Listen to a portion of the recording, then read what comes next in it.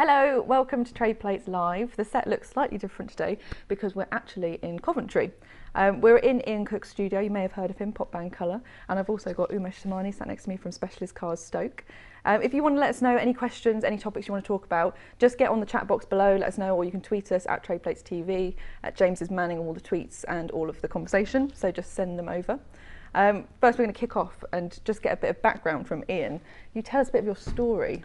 Um, so basically, uh, I'm an artist, obviously, uh, but I paint solely using radio control cars, tyres, and wheels. Um, I have been for eight years now. And I guess the big question is why? Why? Why not? Well, I think uh, I think paintbrushes are, are overrated.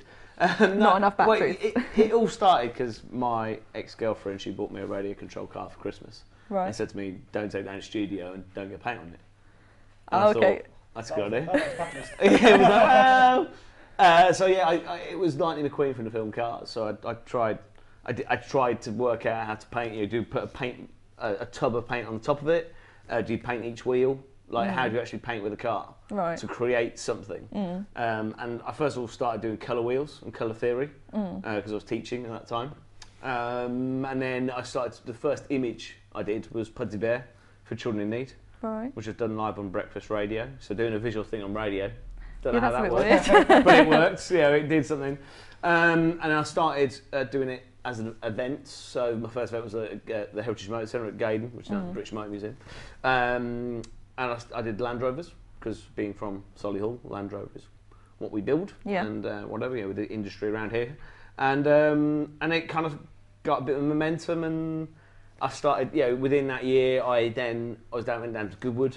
I was spotted by uh, a PR company doing the stuff for um, for Lewis Hamilton um, and Reebok. So I then painted a giant portrait of Lewis Hamilton that year, which was the size of a three-story building, um, and that was where it all kind of snowballed, really. So this artwork was revealed in London next to Tower Bridge, uh, 15 meters by 8 meters, and um, all done with the cars. And then he won the championship that year, which kind of helped a lot. Yeah. And then yeah, from from, so from there on, it, it, it just yeah, I started creating for manufacturers, you know, mm. primarily manufacturers, but then I also do dealer, you know, create live at dealer events, and I do mm. workshops and.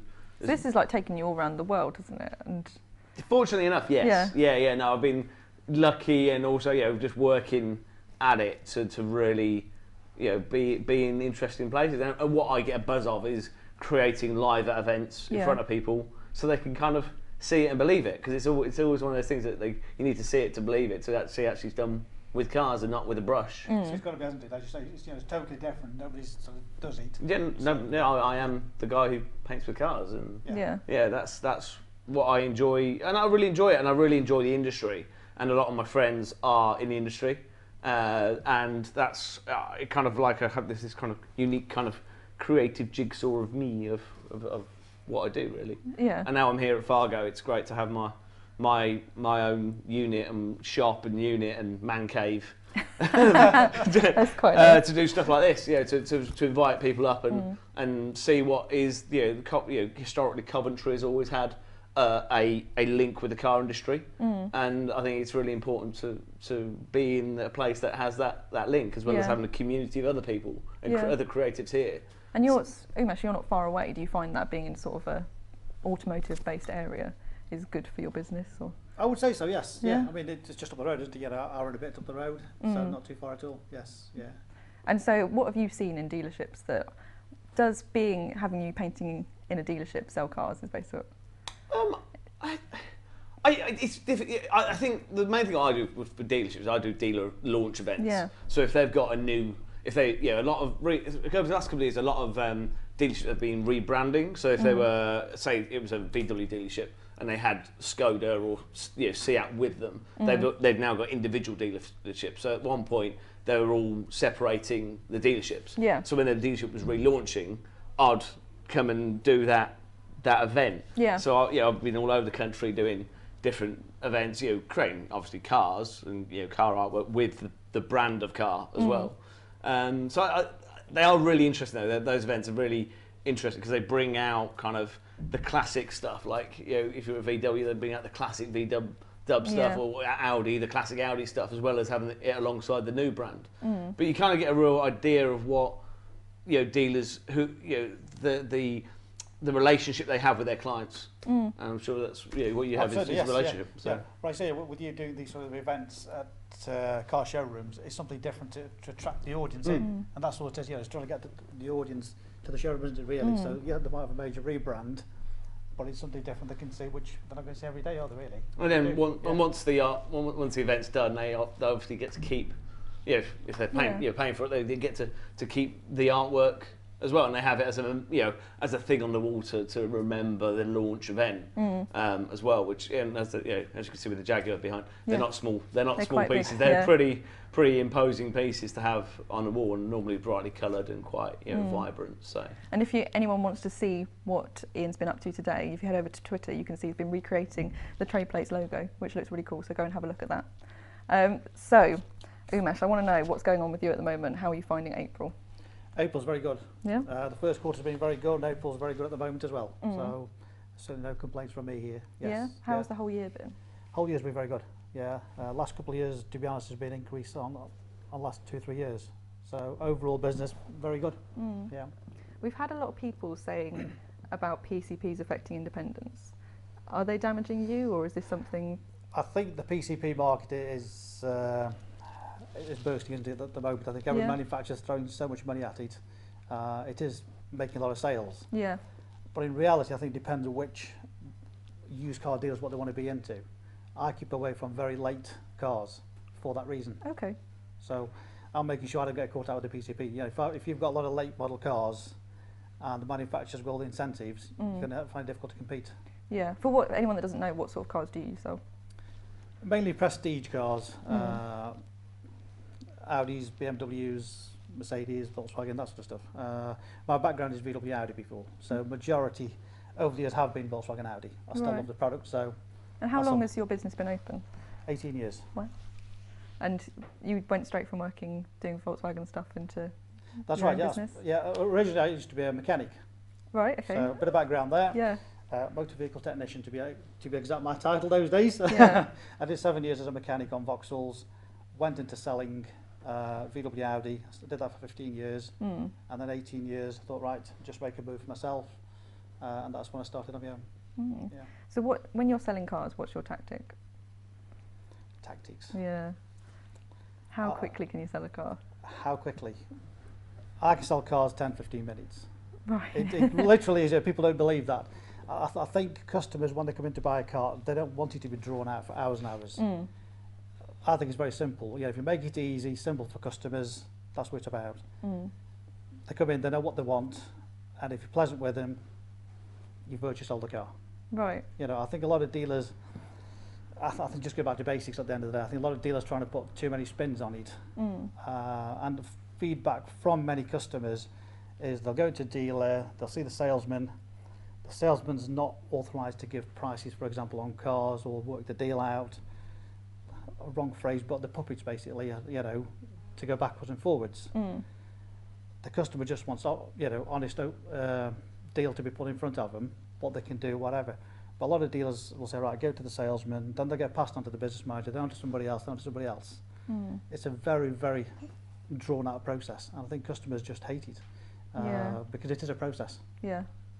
You I know, know, we, I know all what you want things think, 'cause simple I- and easy, don't we? yeah. I would as soon as it took more than half an hour, I'd be like, I don't really know if I want this car anymore. This is too long. I don't know. That's right, isn't it? Yes, yeah, yeah. yeah. So, it's, so I think it's just, in reality, it's just making it easy for people. S- Simple as Mm. that, really. Back to basics. Yeah. Th- th- that's all I do. And where are people are people coming to your website to find the cars, or are they finding you through Auto Trader or elsewhere? Various platforms. Yes, we've Mm. got Auto Trader, uh, who I'm with. Uh, a lot of dealers have jumped the ship on that. Yeah. Uh, I think it's a very hot potato that subject as uh, Yeah. Because I was motor trade. I know James Lugger said earlier this week on our forum that he's left Auto Trade now. It's the best thing he's ever done. But I don't know what you think about. Can anybody do that? Or I think you can at the end Mhm. of the day. I, think every business is different and it depends what suits their business. I mean, obviously James decided to, to leave Auto Trader. He's doing other sorts of marketing which has Mm. not affected his business. He's doing great. Yeah. And obviously saving the cost of Auto Trader, but it depends on what he's spending elsewhere. Uh, Yeah. there's, there's quite a few other dealers, uh, Jim Reed, for example, I mean, he left Auto Yeah. Three years ago. It's not it's affected his business. It's booming. Yeah. So I think every business is different. You, know, you, you can't say everybody jump the ship Mm. or everybody stay on. I think each dealer has got to make their own mind up. Is it return on investment? Mm. As simple as that really. If it's not working, pull the plug and get out. Yeah. Uh, but they've got to look at, you know, what are the leads, what are the margins, and is it viable? What have you found that's really worked for you when it comes to selling cars? Is there anything on your website, online, that's really worked, or anything that you've tried that hasn't worked and you've looked back and gone, oh, why have I done that? I'll tell you what sells cars for me, and people still don't believe it, my videos. right. 360 walk around videos, sell Mm. cars. Uh, the last time when I should have been uh, on Skype with you, Yeah. uh, I couldn't make it. The customer rang me uh, 11 o'clock the night before Mm. because he's seen a video on my website. Right. Left a message to say he wanted the car, could I ring him back? It was Mm. 11 o'clock at night, I was in bed. Uh, rang him back the next morning, which was Bank Holiday Monday. Uh, we just talked to him. I said, I've seen the video, can I leave you with a deposit? I don't want to lose the car. Right. I said, yeah, no problem, took the details down. Came down on Tuesday from Weston-super-Mare, Mm. looked at the car and he said, it's exactly what the video is, paid me the price. Wow. And I had the same thing literally two days ago. A guy rang me on a BMW uh, on the Friday. Mm. He said, I don't want to lose the car. Can I give you a deposit? Came on Saturday, bought it. So video sell cars. Because they can see exactly what. They can see exactly, and I think that's you've got to be transparent with the customers. I Mm. think there's too many dealers, and I still can't understand why they have two or three pictures not showing the car. Mm. At the end of the day, that's the showroom. People don't want to drive from one dealer to the next. They want to see it online, iPad, Yeah. whatever it is. And know what you're going to get. Yeah. Yeah. I know for you, social media, video has been a matter, as well as obviously you've done a lot of travelling and shows to get your brand out there. I mean, but it's it's really, so, I mean, the thing for me is that you know you're saying working out what the best way of marketing. You know, I mean, creating live at an event is what I do. I wouldn't have a business without it. You know, there's Mm. several different avenues. You've got to, for me, you know, you know, I've been on Twitter since 2008. So when it was very young as a brand, as a as a brand, Mm. but I wanted to. I, it was a it was a comfortable network for me to to feel that I can engage and do stuff with. yeah, Um, and then gradually Instagram became, you know, because I'm an image maker, Mm. that's what sells my artwork more than anything. My highest network is that. Yeah. Um, not that I oh, you know, push more out on it or whatnot, it's just that that's what people Mm. can see my artwork on first normally. yeah, Um, and when you're at an event and there's you know, various hashtags or whatever, it's about, you know, joining that yeah, conversation, jo- you isn't know, it? a community of people, people being able to see what's going on. And whilst I'm painting, I will tweet photos of of what I'm doing and, Mm. Yeah. and, and what why I'm doing it or who I'm doing it for. And that's like you know, a lot of my clients. Well, that's what they want me to do is they they, they want me to, to, to talk about what I'm doing when I'm doing it. Mm. The Well, first that, time, oh, that's, sorry. That, No. that- that's what it's about. It's, it's the interaction, isn't it? You know, it's not a case of that's the finished product. They want to see exactly what you're doing, how you're doing it. Yeah, and, and, and the evolution of any, yeah, any technology stuff is, you know, being able to, you know, par- you know live feed stuff, Mm. video stuff, you know, any any kind of network that you can create unique content on. Um, that's what I try and lend. You know, my business is constantly evolving with where I need to, to Yeah. push it and, and The first time do. you went to America, how did they hear about you then? Because that's Yeah, that was quite good. That was good. So um, there's a company called um, Motortrak who look Right. after a lot of dealer websites in the US. Right. So East Coast and West Coast, and they've got an East Coast office and West Coast office. So they actually uh, they got an artwork of mine through an auction, uh, which is Ferrari 458, which I created at Goodwood. Um, and they had it got they've got it in their head office in uh, down south, and um, so yeah, they approached me and said, we we want you to do this event out in Vegas, which is which is for all the automotive dealers in the US go to Vegas once a year, and they have all this you know big conference in the Bellagio. yeah, So like this huge glamorous that's got to be Nada, hasn't it? Umesh Uh, probably. Yes, I mean, yeah, yes, Nada, Nada. yeah, yeah. yeah. yes, it's, well, it's, yeah, J, it's JD Pat. Oh right, J, okay. Oh, yeah, right, J, okay, yeah, right, J, yeah. yeah, J, the J, the JDPAAMR. Yes, So, right, yeah. um, yeah, it's all right. It's I had to remember it. I was like, what? Yeah. Uh, I'm- I remember the hashtag more. but um, but yeah, so that was the the the. The, the, the, the, main you know, reason to, to, to go out there. Mm. And obviously, being out to America, I hadn't been to America and I've always wanted to do it. So um, to do it once and then do it again was, was ace. You know, Yeah. It's really cool. And to do my, like last year, we- we went to AutoNation, which is a massive dealership. They're a dealership network on the East Coast. Right. Um, so we created at their head office in um, uh, in Fort Lauderdale. So they're Wow. 15th floor of this this this building. You literally look over the entire of Fort Lauderdale into Miami. And uh, and yeah, it's it's slightly surreal. Like it is, Yeah, you know, not quite Coventry. like, it? like, it was it was it was cool. Like it was, and but it's like oh my god, you know, like it's it's so they don't get it. Like because some some Americans haven't got a passport, so they're like. So I had this one girl. She goes, "How did you even get here? Plane." But yeah, yeah. got it on a plane. Um, but then there's some really cool stuff. I was able to go down to um, down to Orange County, uh, you know, so Pacific Coast, you know, um, PCH, um, and uh, Laguna Beach, and to, to go there and there's like the coolest cars, and then also like so massive car culture and massive art culture. And I happened to, to, to walk into Troy Lee, who's a, um, um, an American helmet painter, uh, who, who paints Ken Block's helmets. Cool. That's who Very painted. cool. right. So Yeah. I walk into the store and then I walked and there's a Triumph bike on my on my, on my right hand side, and um, I'm like, this is good. I said, I said out loud, oh, good to see another Brits here. And then the, lady behind the counter was like, so am I. I was like, pardon? I was like, where, where, where are you from? She, she's from Dudley. really? Of all the places to go of from. all the yeah. places, Yeah. this, Yeah. this random shop that I found off two streets off Pacific Coast Highway Hmm. is Troy Lee's shop, and the girl behind the counter is. Uh, is is you know from Dudley? That's but obviously she's been there 15 years, so her accent is all like yeah. Yeah, the more I talk, mixed, yeah. the, more, the more I talk to her, the more her accent comes back. And um, and then the other girl in the store, she goes, "You're Pop Bang Colour," and I'm like, what? How? I was like, "How did you even know?" Yeah. Power So- of the and she- And she's like, "I follow you on Instagram." Yeah. I was like, it's crazy. It's just this, this, but that's the beauty of this industry. It's like it, from I think from an outsider point of view, it looks it looks big, mm. but actually when It's- you're in it and yes, work yeah. within it, and I have done for eight years, and mm. people have moved about within the industry, Yes, yeah. you tend to know faces and people from different places and, mm. and whatever. But that's that's that's that's what's awesome about it. You know, Yeah. whether I do US or Dubai or wherever, there's there's people. Yeah, there's a lot of expats in Dubai that. I That's can, very you cool. I know as well, which which is which is cool. So, So sorry to cut you off there, but I've got a question for Umesh. Um, John would like to know: Do you think that franchise dealers are overcomplicating the sales process and losing business? Absolutely. Yeah. 100%. Yes. Yeah. Straight, straightforward answer to Which that. is yes. good for you. Yeah. You know, I, th- I think. I say very um, uh, complicated. You know, there's a simple process. Why complicated? Hmm. They must complicate it for a reason, though. Upsells, I guess, and U- Upsell is one of the reasons. Yeah. But I th- I'm sure they can still upsell without it being drawn out. mm, You, you you still tell the customer what you know what's available um, and upsell. Mm. But I, th- I think it's just the time taken, and when the feedback, you know, what customers are telling me, it's just far too long. yeah. Speaks for itself. You know, I'm not making these up. These are stories from genuine customers who are buying cars off me. So have they Yeah. been to a franchise and then changed their mind because it was taking too long and come to Some you? have absolutely. Right, yes. okay. Yeah. Yeah. Yeah. Absolutely. Well, that's good. Yeah.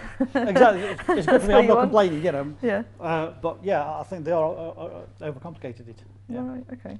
Well, we're going to go to a break quickly now. Um, we'll be back in a couple of minutes and we're going to have Ed Steele from Steele Dixon. They're a motoring recruitment company. So if you've got any questions for him, he's going to be talking about giving you some advice on the best way to recruit staff. But if you've got any questions, send them over and we'll put them to him in a minute. Speak to you soon.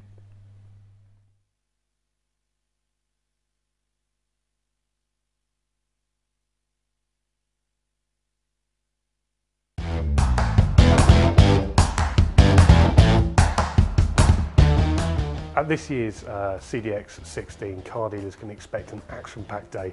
We've managed to line up some fantastic keynote speakers. People like Facebook and Twitter are going to be there to explain to dealers how to use social media to, to, to the best possible way when it comes to selling cars. We've got Google who are going to explain how the, how the search engine can work best for dealers. Um, we're also delighted to, to say that we've got Jim Holder. He's the editorial director from Haymarket behind brands like What Car, Autocar and PistonHeads and he's going to be giving some fantastic insight into what car buyers want these days.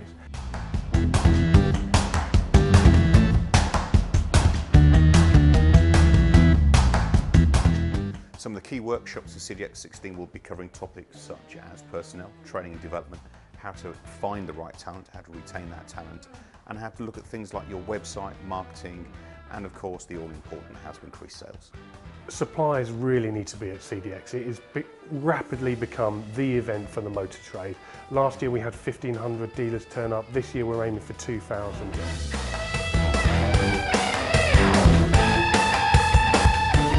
All of our workshops are hosted by experts in their field. So you're going to come away and you're going to have learnt something from those workshops that you can implement and put into place in your business the very next day. This year for CDX16, we're not resting on our laurels. We are making it bigger and better than ever before. And that's not only the expo is going to be larger, we've got an additional hall, but we're also going to be focusing more on the workshops. The workshops are where dealers can, can learn something new. We've got 12 fantastic topics. Um, they range from recruitment to personnel to, to making the most out of online sales. Um, and it's the place where dealers can, can really pick up some hints and tips to better their business and make that day out of the office really pay for itself.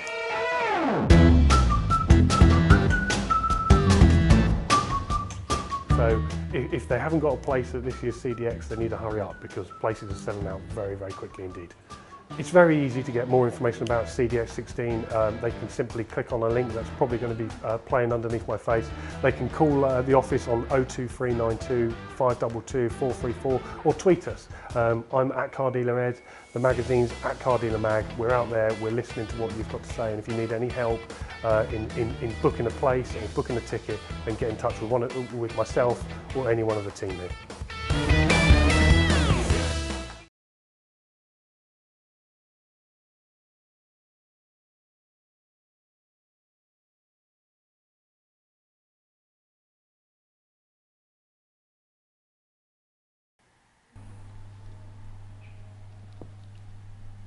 Hello, welcome back to Trade Plates Live. I'm joined on the sofa, I've got Umesh Samani and I've got Ian Cook from Pop Bang Colour. But on the TV, you'll spot I've now got Ed Steele from Steele and Dixon. Uh, they are a motoring recruitment company. I want to say hello. Hello. So, Ed, can you explain a little bit about um, what's special about your business and what you do? We are a motor industry specific recruitment company. Hmm. Um, and we're founded by my grandfather in 1961. Uh, my father joined in 1970, I joined in 2005, and my sister joined in 2012, I believe. And um, we've always specialised in, in the automotive industry, um, both in the UK and overseas. Uh, so we um, should have a, a, pretty rounded opinion on recruitment in the industry. Right. So, what's the um, biggest problem that you find when people are trying to recruit sales executives or managers? Um, I hope we've got long enough.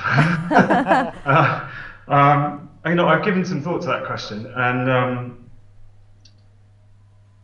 there are so many different answers. Uh, it's where to start. I think uh, some people do it incredibly well. That should not be overlooked. Right. Um, but I think uh, it's a, it's something that comes up in, in a lot of the questions that you've posed, which mm. is um, how people go about the recruitment process and whether or not they see that as, uh, as an enjoyable experience and something to be um, engaged with positively, or, or whether they see it as a bugbear and, and, a, and, a, and a hassle, um, which it can often be, I think. Um, depends in which way you go about it. Um, but, but giving it time and investing in it properly, just like anything, uh, it will be an enjoyable experience and should produce good results. What are people doing when they're doing it right then? Um, I think that um, if you're doing it directly and not using a recruitment company uh, and going to, to market to find people yourself, it's, it's about how you um, engage with people. I mean, we all say that first impressions count. Mm. Well, um, the same is true of, of when you first go out and try and find an employee. Uh, and I think it's um, something that easily is overlooked when engaging a recruitment company, you think, oh, well, they'll do it for us. We just need to ring them. Well, we are, in fact, and any recruitment company is an, is an extension of the company that they're working for. Mm. So, really good first impressions. I think, um, you know, a, a recruitment phone, company phoning you up and looking disorganized and not having much information about the job and not really knowing, uh, answer, being able to answer any of your questions as a candidate would be a bit disappointing and probably rather frustrating. Um, you know, I wouldn't be impressed myself. So uh, I would probably say thanks very much, and uh, you know, I'm not interested. So, uh, and then the company needs to really engage in that. So put together a job spec and, and very simple things that can often be seen as uh, too too sort of too much time to invest because there's a hole to fill. Mm. Um, so that seems like quite, from what you're saying, quite a simple thing, just to talk a little bit more to your recruitment company yeah. would be like the key bits of information that you if you were going to advise someone on how to hire someone well, what information do you guys need? Um, I mean, it often is the case we're working with clients that we've worked with for, for decades. Mm. Um, and, and so we, we've often uh, maybe even had that job before. So we, we already know quite a bit of information about the service department, how many technicians it has, what's its labour sales for, for that year, and uh, what systems they're on, and so on and so forth. So thankfully, we're in quite a unique position where we can um, operate without as much information as maybe somebody who is starting out in recruitment would need. Right. Um, but actually knowing, but, but things change on a month by month basis, on a day by day basis. Mm. So in fact, uh, I, I, spent uh, three days touring a client's business recently, going to every dealership, uh, meeting pretty much everybody in the dealership to really get to know who's there, how it feels, um, what, what the staff are like, uh, um, and uh, even where the canteen is and, and, where people make cups of tea.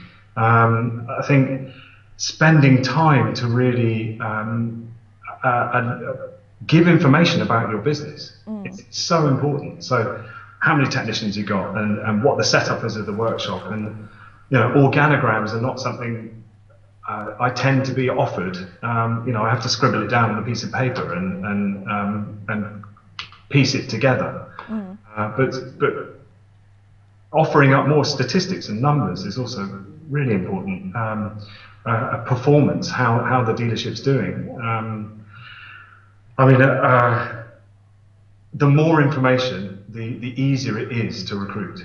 Does that make it easier for you to then have an applicant in and you can say that person will work in the business or it won't?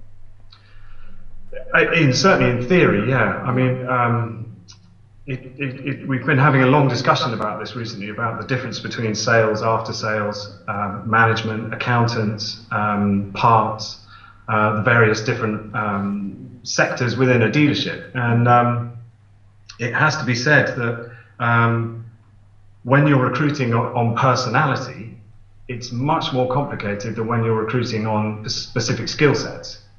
And, and, sales tends to be led by personality. You, you, you know, there, there, are less qualifications you need um, uh, that are specific to being a salesperson. There, there, there, are lots you can get, but uh, you know, you don't need to be an ACCA qualified accountant. You, you know, but you do need to be qualified to be an accountant through certain processes, uh, and that's much harder when you're recruiting on personality. So it may be all well and good having a load of information which says you've got X amount of sales execs, do F&I penetration at this rate, do um, uh, all the various different things you might need to know about a sales manager, uh, but actually, ultimately, it will come down to personality, and, and that's very hard for a recruitment company to predict. You can you can get it there or thereabouts, but certainly not accurately without the client's input. Mm. Are there any mistakes people are making then that you would advise against? Um, I think it's a difficult question to answer because um, people um, do make mistakes, but I think the recruitment process is uh, one that you are very likely to make mistakes in because you're you're you're picking people, and only time will tell if you've got that right. Mm. I think it's inevitable that you will make mistakes in doing that. Uh, that probably has to be accounted for in in some capacity. Um, one would hope that engaging somebody such as Steele Dixon would improve your chances of um, of not making mistakes mm. because we're here doing this every day. Uh, uh, dealers are car dealers, not recruitment companies. Mm. Um, although uh, everybody has to do recruitment, so um, although that doesn't make everybody an expert, I suppose it's fair to say. I guess what most people are looking for is someone that's going to stick around. So, what's the best way to hire someone like that, and what steps can you take after the recruitment process to make sure that you get someone that stays for the long haul? I guess. Um, it's another really interesting point about. Uh, I, see. I've always said that a recruitment company should never be blamed for retention. Because the recruitment company is here to. I mean, I see Steele Dixon as a finding service. We find people. We can't make them stay. That's up to the company. Uh, and that's about good management, um, investing in management training. Uh, you know, I don't know how, you know how much is done on that, and there are certainly new qualifications that are out there in the industry that you can um, that you can get, which which such as the um, uh, the new the ATT is it for technicians uh, or ATA, uh, and I think there's now a management uh, qualification that's that's very similar. Um, you know, that's crucial uh, because poor management is often the reason why people are phoning us. Um, and I think salaries is obviously a massive important point. Money talks, and um, I think in, in years previous, um, it's been unfashionable to say you're motivated by money. Well, uh, I think that's that's not true. In a, in a recent survey I read, preparing for this discussion, um, it, it seemed to be something like 60% of people's reasons for staying or going is, is the wrong money, Right. or the right money. Question for you, Ian, uh, for Ed, sorry. Um, obviously, when you look at people's CVs uh, for recruitment, do you actually look at the on social media as well, Facebook or Twitter or whatever, just to see the people and just find a bit of background information on them? Just curious. Yeah, funnily enough, and that, that was going to be, I think, um, one of Rebecca's questions about how sorry. recruitment changed. Well, how recruitment's changed, and you know, when Steele Dixon first started, we sent CVs by telegram. Um, you know, Really? now you can look people up on Facebook and see what they're like without ever having met them. Um, you know, and it is uh, astonishing how um, how that's changed. And, but uh, probably that's overlooked uh, in many hires. You know, not going on social media, not looking at people's activity, um, and you know, if, seeing if that gives you an indication. I'm not suggesting everyone should become a stalker, but uh, there's a certain amount of due diligence there that's probably uh, no harm in doing. Uh, people's profiles are probably often locked, so you won't be able to see. But you know, it's certainly something you should do.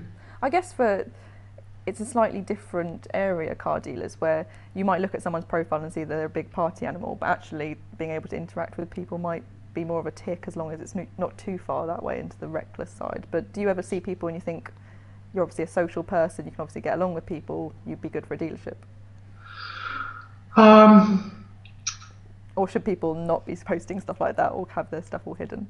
I mean, uh, no, I don't see why you should be denying who you are if that's who you are, um, and you're doing a good job and you've got a good customer service record. Then uh, there's there's no harm in that. But um, yeah, there's a there's a careful line to tread there, uh, and and uh, having a um, uh, an open access on Facebook that, that shows that you're spending most of your time not thinking about work may not be what a future employer wants to see. So is there anything else about recruitment that's changing or have you seen it change over the past few years? Um, again, we, it's a, a sort of constant discussion in our office about uh, a CV. You know, that's never changed in, in the 54 years we've been operating. We still send CVs, and um, you know, no one has yet come up with a better alternative. Uh, I have seen a few YouTube CVs, which you know, I don't think they're they're quite catching on yet, but um, you know, that that one to watch maybe, uh, and I think actually fun, the, the fundamental process of recruitment hasn't changed at all. It's still about uh, in, engaging a recruitment company or going direct to market, interviewing people, and um, and making a decision. Uh, that that hasn't changed. How we make that decision and the tools that are there to find people has, certainly changed. The internet, obviously, uh, being an enormous part of that. Um, LinkedIn, you know, everybody's got access to a, a people database now, which used to be one of our unique selling points. Uh, I don't think we can quite claim that, nor can any other recruitment. Uh, although someone did say to me, what is maybe more relevant now is how many people follow you, rather than how many people you have access to, which may show a an engagement the other way that, that, that, that is important. Right. So everyone's going to look at my followers now, and I'm, I'm you know, hope increasing by the minute. Be. I don't know if you guys have got any other questions for Ed. Put the pressure on. Can't think of anything else on that. Okay, no, that's stuff, cool. Um, I don't think there's another yeah, another artist who can paint with cars yet. So you've got the unique. yeah, I've got that unique. Yeah. if, you do, if you do find somebody else pitching that, uh, let me know.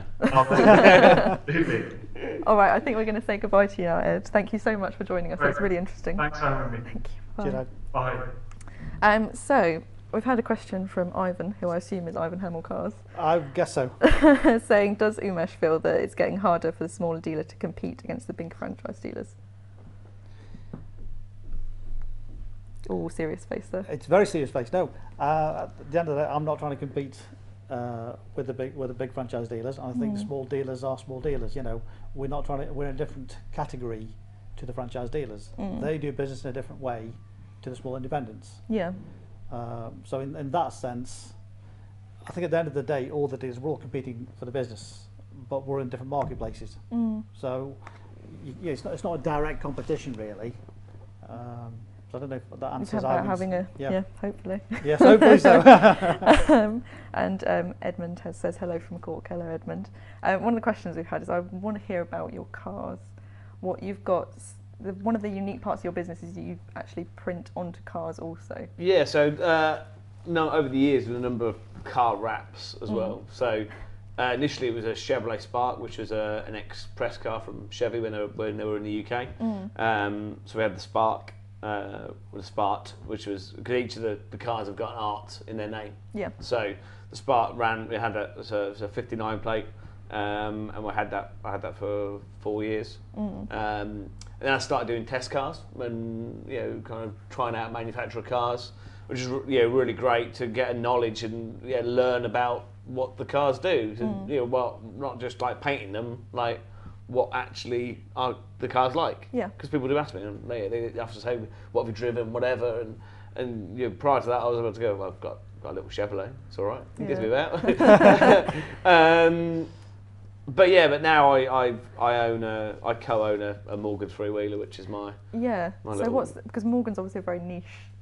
I love it. I, I lo- what I love about Morgan is um, is one, it's a Midlands brand. It's you know it's in the Malvern Hills. It's, it's, it's a very much you know compared to other car company factories. It's this this small building in the in the shadow of the hills, and I think for for, for a brand like that to, to have still you know at Geneva this year with the with the uh, the, uh, the the three the, the electric three wheeler to have such a sort of clout still and still producing handmade cars made out of wood and metal and blokes bashing it in a yeah bashing it together in a shed. still, Uh, still amazing, isn't it? Really, if you think about it. it's, it's Yeah. it is phenomenal. It's Yeah. a phenomenal. It's, it's brilliant to have. And uh, you know, each of the factories. Bit, yeah, I've been on Aston Martin factory, been on Bentley. Yeah, you know, the Bentley, you know, the, with the with the wood, you know, making you know, smelling that wood being created and, and whatnot is, is is an amazing thing. But yeah, I think my particularly with Morgan, yeah, so I just really like this this kind of small little company creating very much bespoke, one-off. You know, each of those cars is unique, much like an artwork you know that's that's what I really enjoy about it is that you can customize and change and upgrade and you can go back and change you know add bits and upgrade bits and uh, and ultimately it's such a fun thing to, to own as well. Like it's not it's not like an R you know an RS6 or anything like that which is you know like you know Subarus and whatever which have this top end power.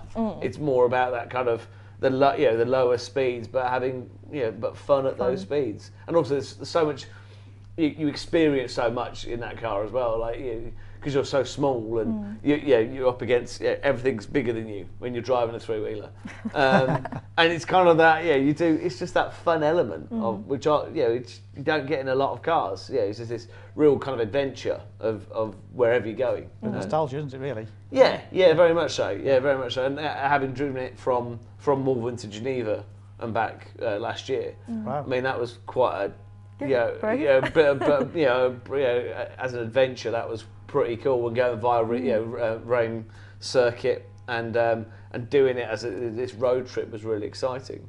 So what are you? You're obviously quite ingrained in the automotive industry. Is there anything you're really excited about at the moment that's coming up, or Yeah, I mean, I think I think recently, I mean, the what was I did for, for Goodyear tires. I, I did a, a giant artwork which was painted solely with their tires, and that had a really good social kind of uh, push on it as well. Um, so yeah, it was done in a in a fil- in a hangar down in London. Um, filmed it, and then we released it recently. Um, and as always yeah, what what is now from April onwards is the event season. So I really yeah I was down at the um, at the WEC for the World Endurance at Silverstone uh, at, at the weekend, and and it's such a buzz about it. Like the people, you know, like a bit like in a dealership where you meet people and you see the same people. Last year, you, you kind of like, you're catching up with people because they'll come and see you, chat for a bit, and then they'll see you the full weekends That's how you just time follow through. Yes. and it's yeah. and, it, and that's and as well as social media now they- they, not only do you meet them at the event but you can yeah, they can follow what you're doing online and seeing what they're doing. And often, yeah, they'll they'll they'll, they'll say, "Oh, what you been? Oh, see see you being here, see you being there," and that's that's really exciting. That's what that's what I love. So we've got a um, question for you, Ian. When when will you do a full size piece with real cars as the paintbrushes? Is that It's already been done. I was going to So say, I'm pretty sure you've done that. I am a Guinness World Record holder. oh, Uh, well, wow. not me, Nis, well, Nissan, Nissan are, but I am. I did- I- I You did got, a- you got a part in there. I, yeah, yeah, had it not been for Yes, me. yeah.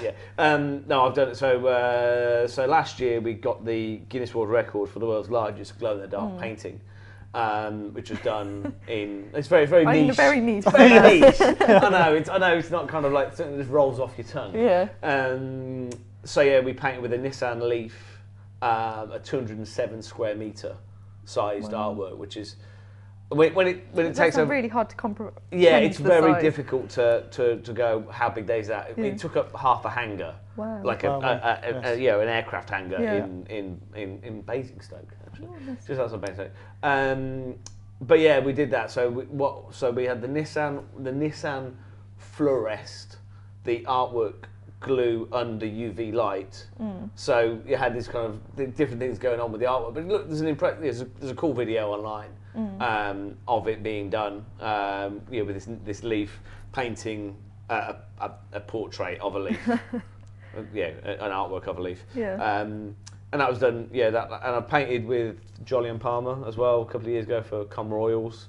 We did a piece with it when he was in F2 Right. at Brands Hatch. We Mm. did paint that with a car as well.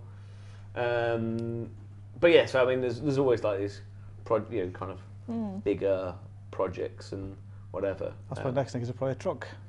well, the one well, when we when we did the Com one, we painted, with, we painted with a truck. uh, One Right, of the, it was an F2. It was a, a bike, an F2 car, and a truck. Right. Wow. and um, which is it was yeah because I get I happen to have these like bizarre I normally can't say it's for like a stunt Mm. and they go right what's this is what this is what the end result this is what we want the end result as Mm.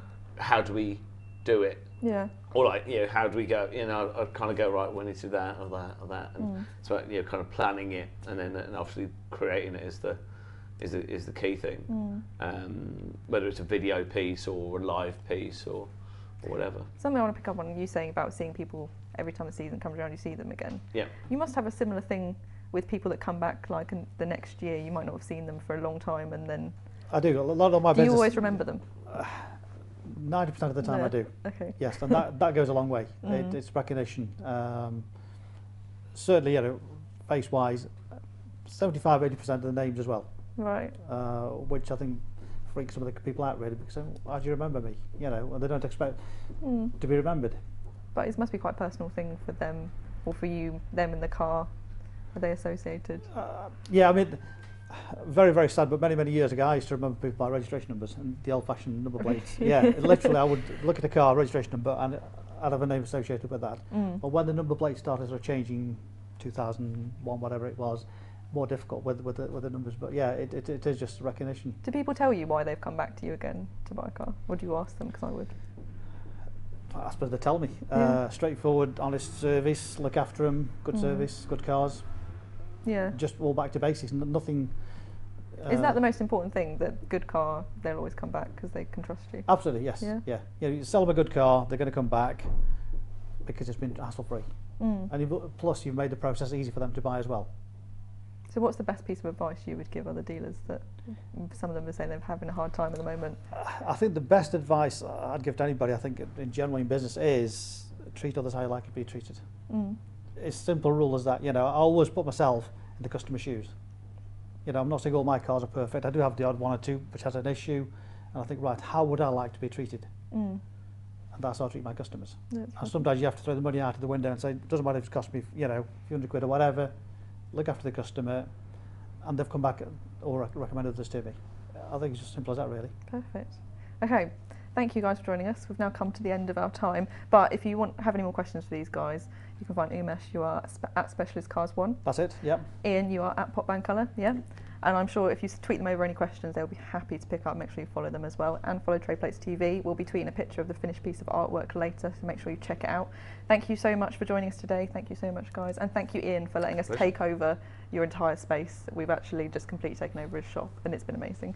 Um, we are going to be back on the 3rd of May. We're going to have Nigel McMinn from Lookers and Ross Quirk from Quirk's Car Company joining us, and Logistics will be back. So tune in then, we'll be posting more stuff nearer to the time. Thank you, bye.